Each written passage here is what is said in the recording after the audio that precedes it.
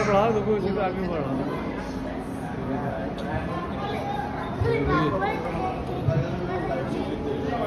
Doctor साहब ये बनाओ आप समझे? ये बनाओ ये बनाओ हाँ ये बनाओ सही है।